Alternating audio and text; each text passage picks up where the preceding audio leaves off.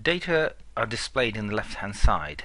If we double click in the, the VAMAS blocks in the right hand side, what is displayed is the set of data that's in a VAMAS block and the range over which it is displayed is the energy interval that it was acquired and the range of intensities uh, are, are also determined and used to display the data. So if we look at a survey spectrum, this contains many peaks and we interrogate these peaks uh, in more detail. If we click on the left hand side, these two toolbar buttons become active. And these toolbar buttons are to manage zoom states within a, a survey spectrum.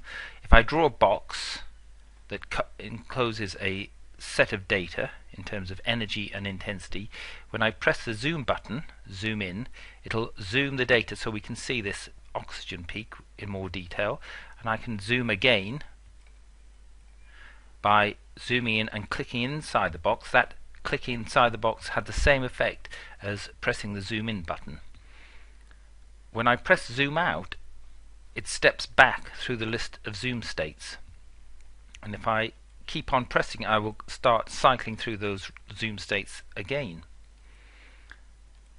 So I may now want to look at these peaks here. And I didn't clear the zoom list therefore they're still there the previous set. And to them I've added this particular uh, set of energies and intensities so that I can look more closely at these Cerium peaks. If I want to clear this zoom list I use the reset button. And when I press reset the data zooms out completely and the zoom list is empty. If I click on the zoom out, nothing's happening. So these three buttons here are used to manage different perspectives of the data.